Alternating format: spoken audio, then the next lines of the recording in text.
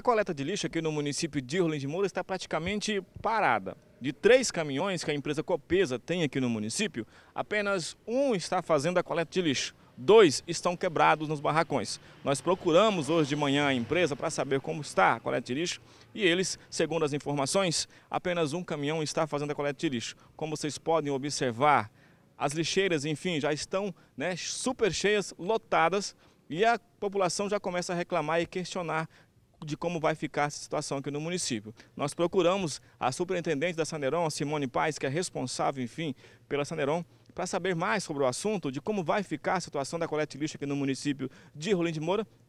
E segundo a mesma se encontrava em reunião, não pôde atender a nossa equipe de reportagem, mas segundo ela, a partir da semana que vem, segunda ou terça, já terá uma nova empresa aqui no município de Rolim de Moura que irá fazer esse trabalho da coleta de lixo. Agora é aguardar realmente se essa situação vai se resolver e quando realmente isso vai acontecer. Se vai vir realmente outra empresa para cá e como vai ficar também a situação desses garis que já estão trabalhando na Copesa. Se eles serão remanejados para essa nova empresa ou se vão ficar desempregados. Eis a questão e o que deixa muito dos garis preocupados também, porque eles dependem, enfim, desse trabalho e correm o risco de ficar na rua e ainda sem receber.